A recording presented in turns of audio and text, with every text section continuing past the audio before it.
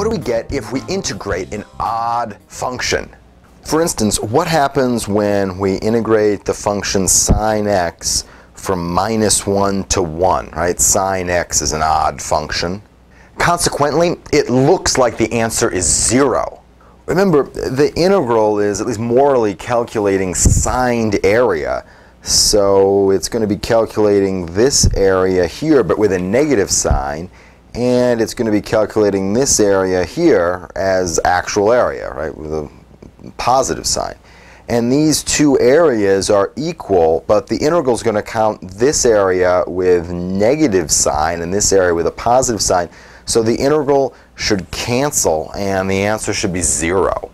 But if you don't believe the geometry, we can work it out algebraically. So algebraically, I'm trying to integrate from minus 1 to 1 of sine x dx. And the first thing to think is that, well, if I'm integrating from minus 1 to 1, I can rewrite that as an integral from minus 1 to 0 of sine x dx and add to that the integral from 0 to 1 of sine x dx, right? If I want to integrate all the way from minus 1 to 1, it's good enough if I just integrate halfway and then integrate the rest of the way and they're just two separate integrals.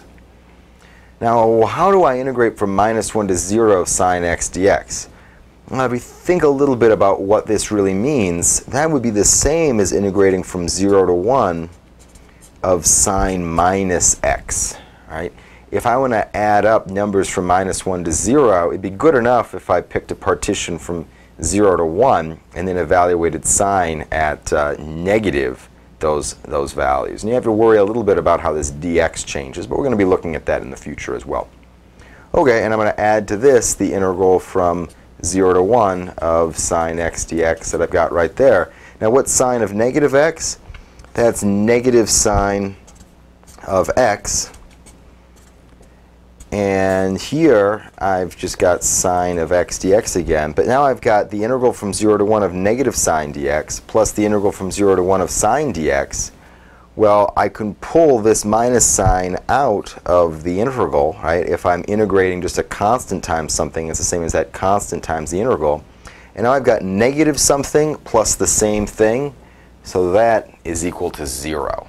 Now in the future, we're going to see more how to justify those steps that I took algebraically, right? Why are all those steps actually valid?